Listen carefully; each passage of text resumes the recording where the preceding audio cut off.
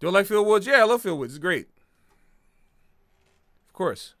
Do you have any tips on thinking like a soloist and better shaping my tone articulation? You got to copy. Don't listen to people who say that you you know do your own thing. You don't got your own thing yet. So you got to copy. And there's no and also don't listen to anybody who tells you there's a right way. We can't go back in time and talk to Cannonball and Bird and see how they articulated. So no one can tell you that. Even I listen, I I studied with Joe Temperley, the master, who was friends with all those guys. Not Cannonball. I don't think he was friends with Cannonball, but he was friends with with Eric Dolphy. He knew he saw Train, knew him. He he was friends with Ben Webster.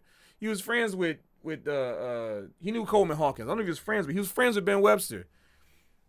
You know, he was friends with uh, uh, a whole bunch of people out there.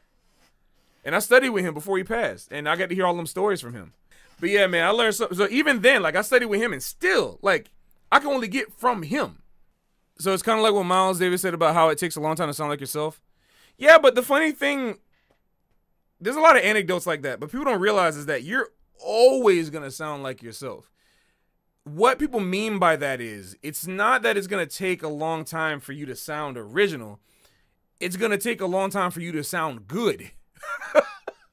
That's what people don't talk about. Is it's not that it's gonna like when people talk about it, like if that Miles quote, for example, if Miles Davis is saying it's gonna take you a long time to sound like yourself, everybody always sounds like themselves. From the moment you start playing the instrument, you sound like you. To be recognizable as a player requires you to have a deep understanding of the communicative aspects of jazz, how to play. You need to play things that people can understand, right? So you got to play things that people understand. And in order to sound like yourself, you need to have a clear way of communicating all the things that you like and dislike about music. So you got to be able to you got to be able to filter that out, right? You got to be able to like sort this is what I like, this is what I don't like. This is what you don't have to play what you don't like, but I'm saying like you've gone through it enough to know this is my unique take on music. Is you know, but a lot of people for some reason just get it twisted. They don't understand that you always sound original. You just don't sound good yet. So, you know, it's this is why I keep telling people you the priority when learning music in general. We can talk about jazz here, jazz specifically if you want to improvise, but music in general, the priority should be to sound good, not sound original. You already sound original. You got to get the language.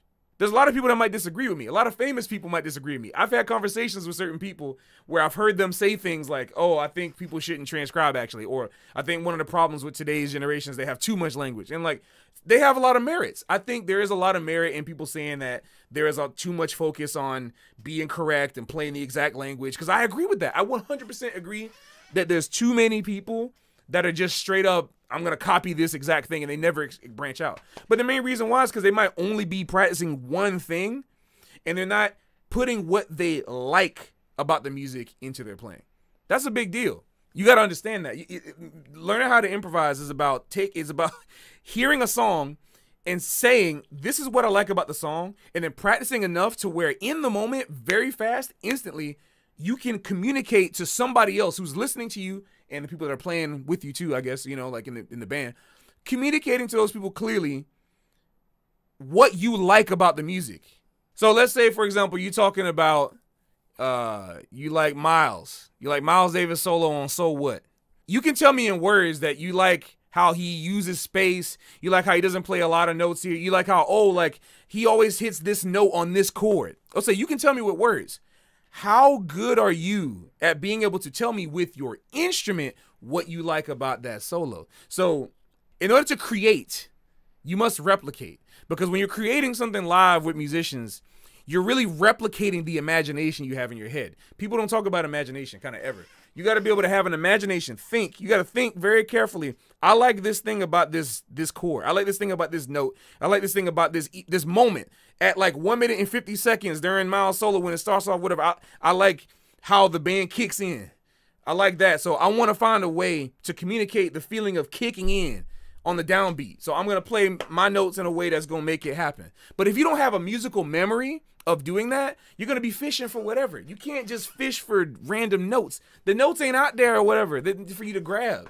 You have to you have to take, you know, it's like the notes are somewhere at different points, right? I'm always fishing for the notes, but I know how to get into my car and drive to the destination. I know they're not coming to me. I'm like, I got to go to it. So in order to do that, you have to take that imagination that you got in your head and put it in a tune. So all these people saying like you know, you, you, you stop trying to copy whatever. It's like, man, you hurting yourself. I get what you're saying. Like, you might be tired of people, like, you, you're concerned about the betterment of the music, so you don't want people to copy other people and just sound like whatever.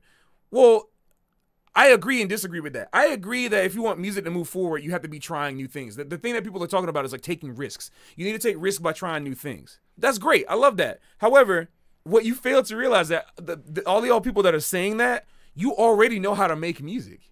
You already have the ability to communicate. There's not a single person who spent their time just being themselves, never learned, never listened to music, never tried to replicate what's in their head and sounds good. No one. There's no one who's done that. You have to be able to to take the memory when you're communicating with somebody. For example, if you're mad, if you're mad at somebody, but you don't know how to be mad, how can you express that you're mad at somebody? Like if you don't go, if you know, you don't got to say cuss words or whatever, but you say like, "Dang, man." Like imagine you don't know how to say "dang" to yourself. That's an expression. That's like you getting getting the drum and go check it through, boom, right? Dang, right? imagine if you don't know how to do that. What are you gonna do? Make some make something up? This is my own thing. Uh, cloing. oh man, I'm so mad. Cloing.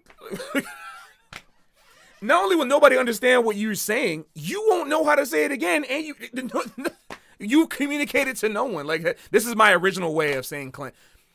You can use. Here's the thing: all the best comedians they know language and, and, and, culture so well they can make up their own jokes and their own quips by knowing what people expect of them to say that's what the best musicians do when they improvise. That's what Roy did. That's why Roy was like a modern day Charlie Parker. He was able to do stuff like that. He knew what people expected and he played his own thing. You know, you can say instead of dang, you can be like, you know, that's why you got all these different words like ah fiddlesticks.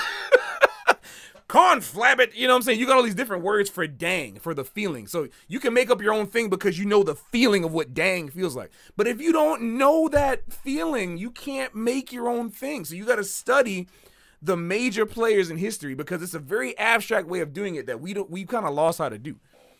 You know what I'm saying? Like the the true key to getting original is to stop focusing on being original. It's just that simple. It's not like I know it doesn't sound simple, but it's you got to learn how to sound good first before you can branch out and make your own thing.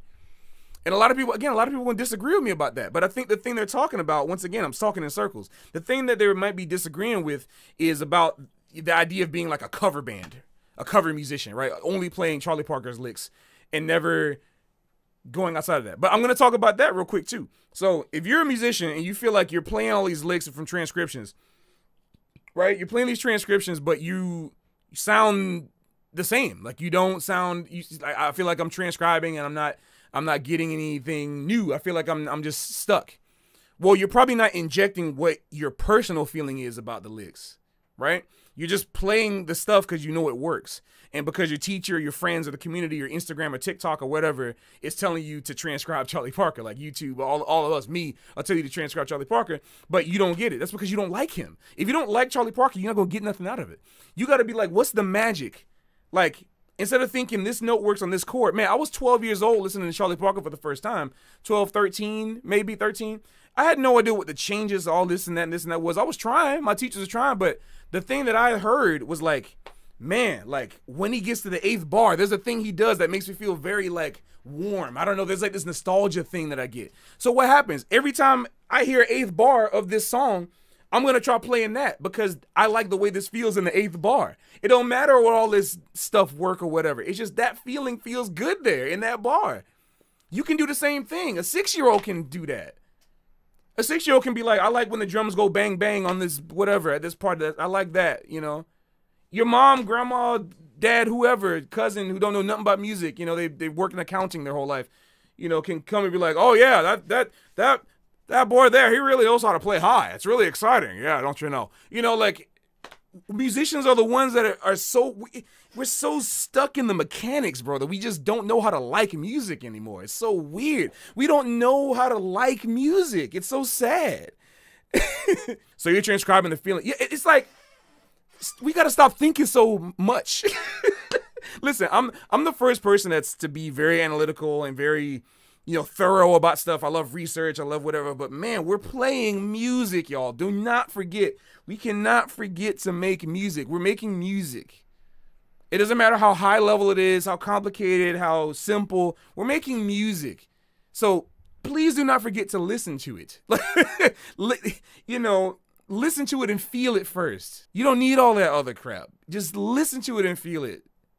You know? That's so true. Remembering to just remembering to just practice the music because I like it made my relationship with practicing so much healthier. Yeah, that's how it should be. It's not for a grade.